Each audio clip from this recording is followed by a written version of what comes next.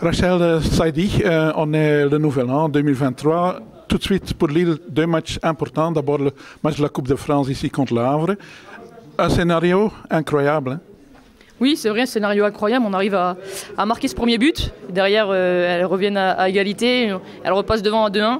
On revient à 2-2 et euh, malheureusement on concède ce dernier but euh, dans la dernière seconde de- de- des arrêts de jeu. Donc euh, ça fait partie du foot. C'est frustrant parce que les filles ont fait le boulot, ont fait le job. Elles ont été très intéressantes dans l'état d'esprit, dans la discipline et dans les attitudes qu'on avait essayé de travailler cette semaine. Maintenant c'est le football et il y a des faits de jeu qui vont à l'inverse, à l'encontre des fois du, contenu de- du match. Mais voilà, ça fait partie du, foot et c'est bien pour la suite.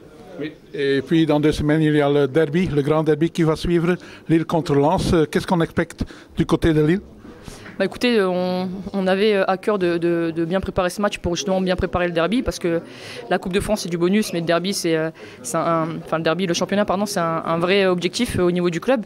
Donc euh, voilà, les images qu'on a laissées aujourd'hui dans le contenu, dans la discipline défensive et dans notre capacité à poser des problèmes dans, les intentions de jeu au Havre, vont nous permettre de, bien préparer ce derby.